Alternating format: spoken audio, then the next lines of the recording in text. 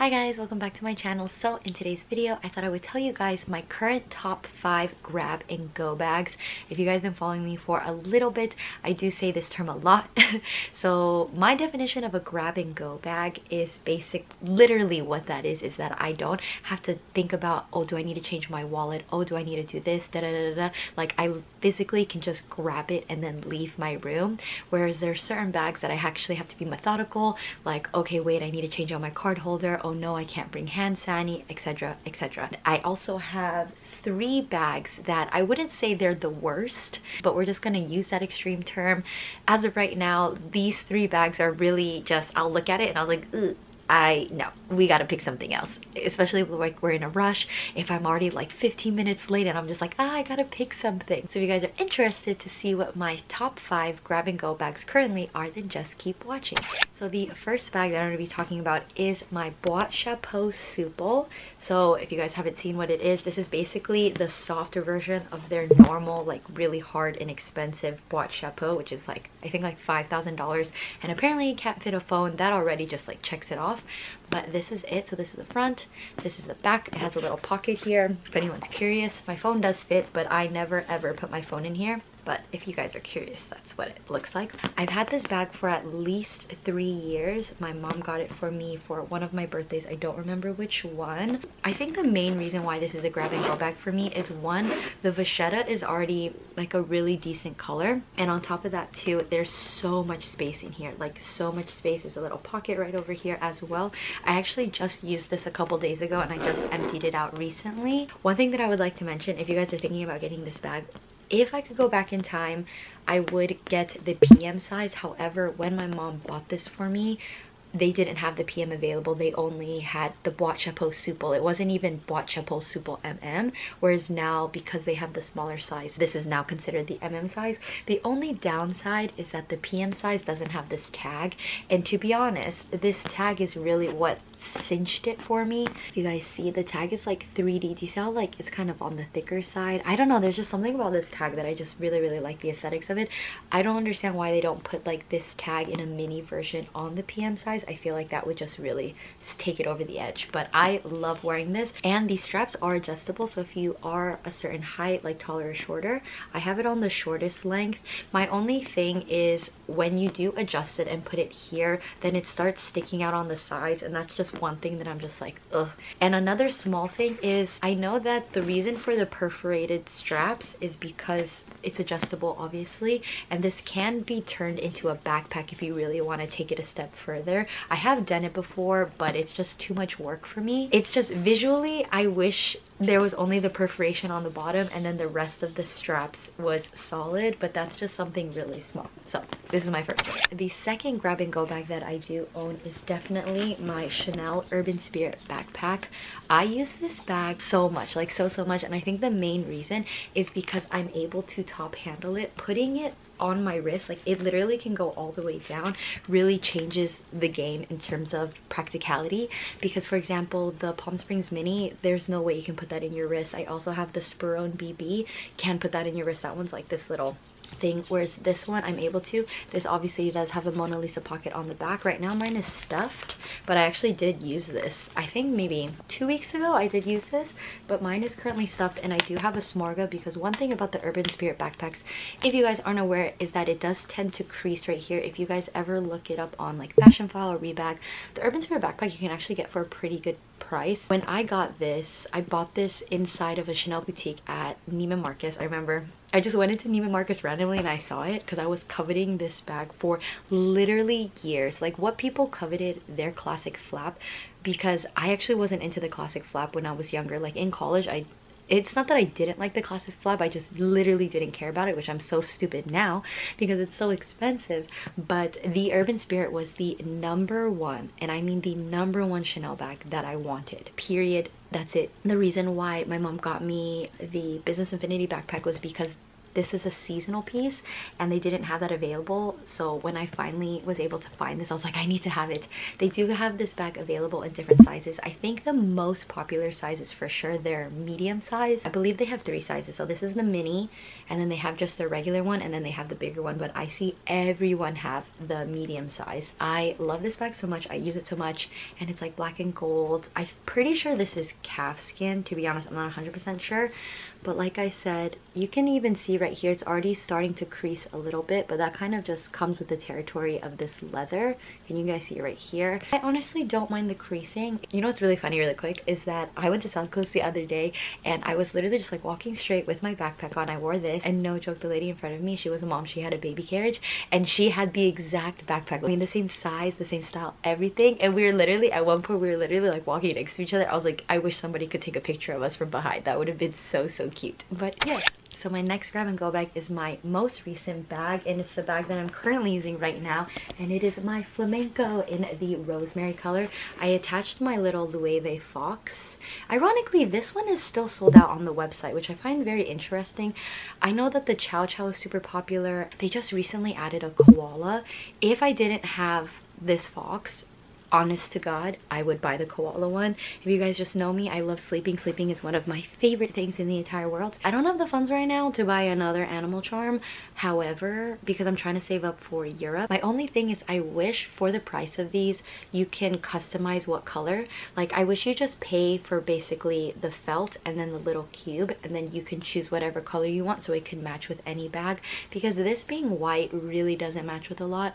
So maybe eventually if i get a white Bag then I can move it. So this is the best grab and go bag purely because it's literally like I have so much stuff now. It's so funny. I go through phases where I'll only have lip balm, card holder, phone, car keys. That's it. And then right now I'm in my I'm packing everything to be completely available era and I definitely do have a what's in my bag video planned so a lot of you guys have been asking me to do a what's in my bag especially featuring this and it is coming up so don't worry I love everything about this you guys know if you guys haven't seen my unboxing i'll link it down below but it's just so easy to use it's so comfortable the leather is just Ugh. I think especially because it's like the magnetic closure, I really don't have to fuss to be like, oh, I need to zip this to make sure that nothing's falling out, that nothing's being pressured. Like, it's just so comfortable and slouchy.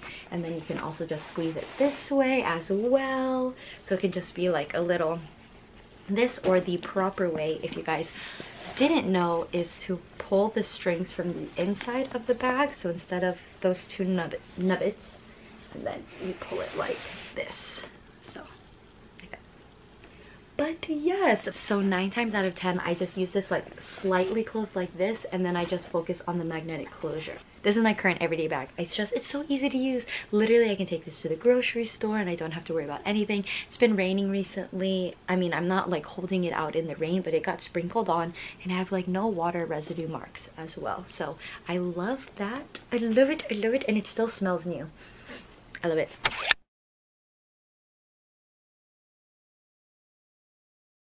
Here we have the regular Fendi baguette bag in the Napa leather in the beige color. Weirdly enough, this one is also sold out. I've talked about this bag so many times. You could literally wear it as a clutch, a top handle, kind of a shoulder bag depending on the width of your arm and also crossbody. I really have nothing but good things to say about this. You can fit so much. If you don't want to pay the Chanel price, I feel like this is a really good alternative to the Chanel Classic Flap. I just love that all the straps are detachable and it's just just so easy to use. It's super hard wearing. I really kind of just throw this bag around to be honest. I squidge it underneath my arm and this bag doesn't have any creases. The corner wear is non-existent at least for right now and it's just an all-around great bag. And the last grab and go bag that I have should come to no surprise. I definitely feel like this one is my favorite bag ever. I just, uh, I use this all the time, all the time, all the time, all the time. You don't even understand. And it is, of course, my Celine Ava bag. A lot of you guys have this bag. A lot of you guys are on the fence getting this. Some of you guys have it in the leather. If you guys were thinking of getting it, what would you guys rank? Their leather version, their white canvas, and then their brown canvas. I love this bag so much that I eventually want to get another one of these. I know it's pointless in terms of purpose wise like why do I need a double of this? But it's like, this bag is so good. I think if I were to get a double, I definitely would get a leather one. But it's just so unfortunate because all of their leather ones now are basically the new style where it has the adjustment. I don't know, it's just the price point of the new one is uh, it's frustrating but i do like that it the strap is adjustable if you guys didn't know for the new one. This is just so comfortable to just chuck on right over here. Like there's so much space right here. Like do you guys see that? There's literally so much space and i just love it so much. When it was raining i actually used this a lot so right now i do have this stuffed. But i you guys know i've talked about this bag so many times. I know jennie from blackpink lisa from blackpink they both love and adore this bag. It's just so easy to use. I feel like it's very unassuming like it's very, very low key. For a lot of people don't know what Triomphe canvas looks like. A lot of people know what LV monogram looks like, but Triomphe canvas is still, I feel like, kind of under the radar, especially people that aren't into luxury. And it does say Celine on the top, if anyone was wondering, right over there can't say anything else about this. I just love this so much, especially because the leather is treated. So if you live in a climate where it's like raining or your hands get really sweaty, you honestly don't even have to worry about this getting dirty because it's already treated and it's essentially kind of like water resistant as well. So it's great like this is the quintessential of a grab and go bag this even fits a water bottle let me show you so i have a little starbucks water cup it's so cute it's from the japanese sakura collection you see that? You see that? You see that? I literally have an entire water bottle in here and I still even have room to put my phone and a card holder. Maybe not a fat compact wallet, but a card holder for sure. So that's great. Okay, so now I'm going to tell you guys my three worst grab and go bags. So the first one is actually going to be my Celine Mini 16 bag.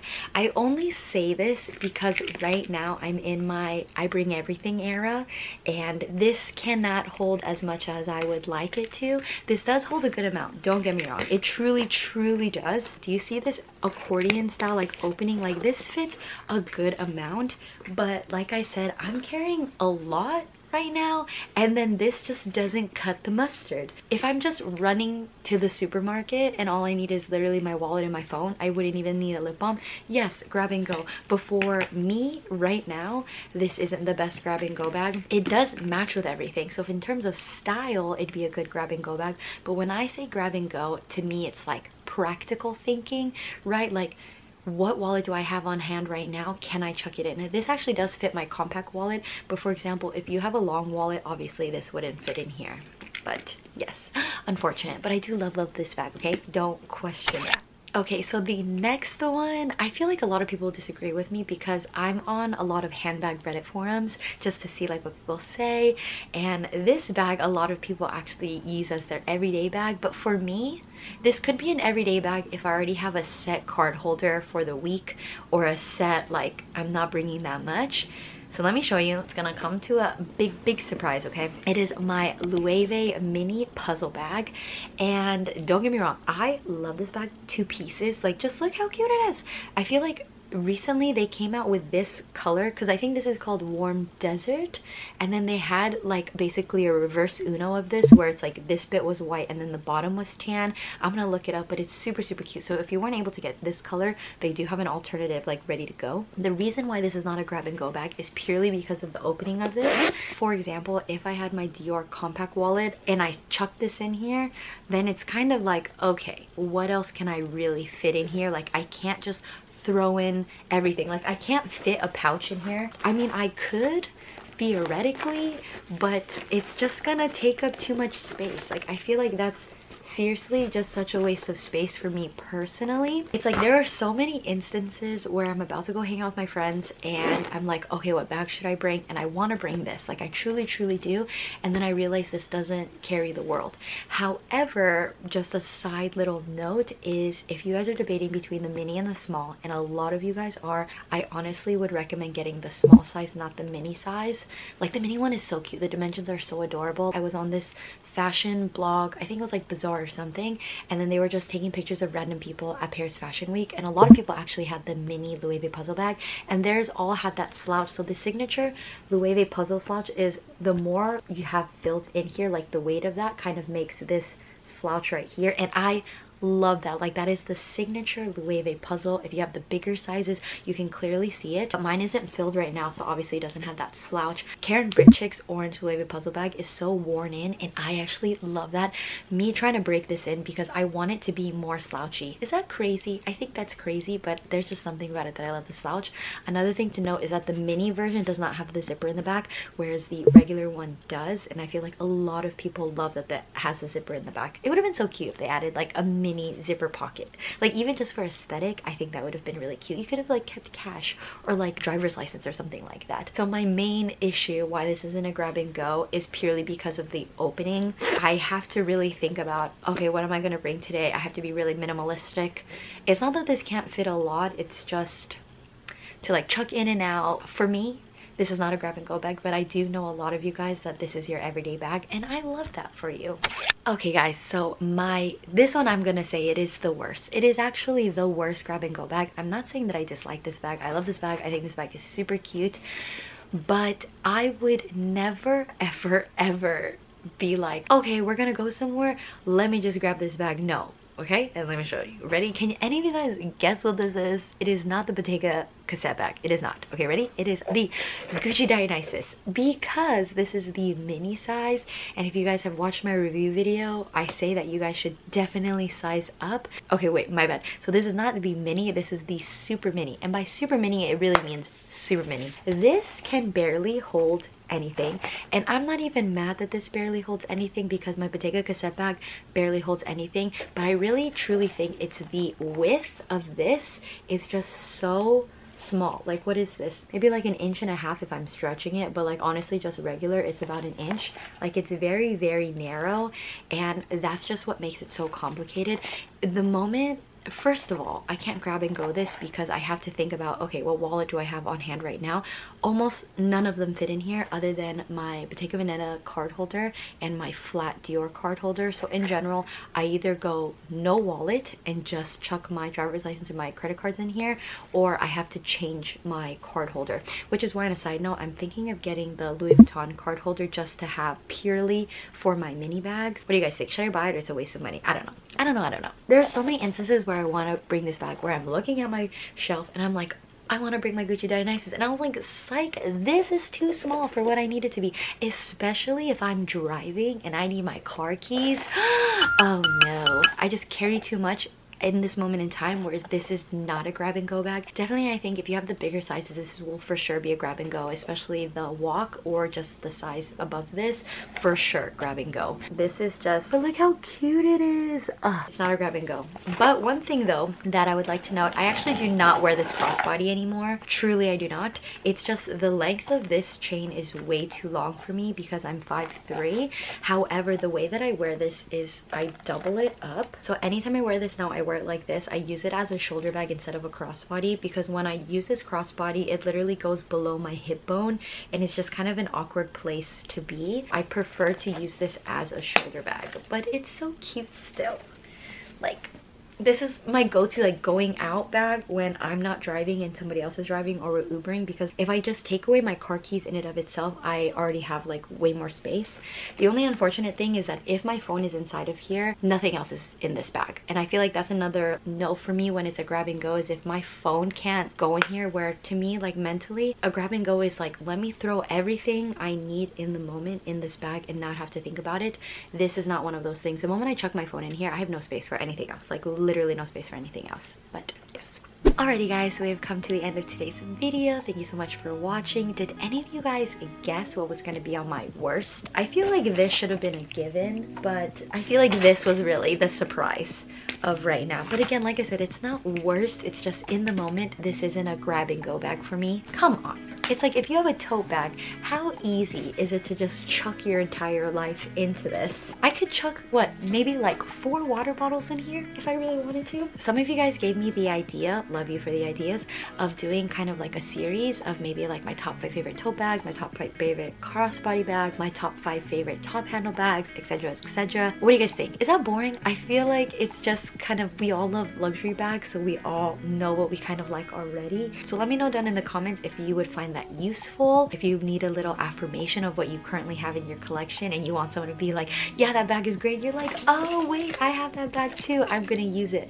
Because I honestly watch a lot of YouTube videos for like inspo where I'm not really feeling a bag anymore and then I see somebody rave about it and I'm like, you know what, you're right, I really do like this. So as always, if you guys enjoyed today's video, please don't forget to give this video a thumbs up and don't forget to subscribe, it really helps for my channel and I'll see you guys in my next video.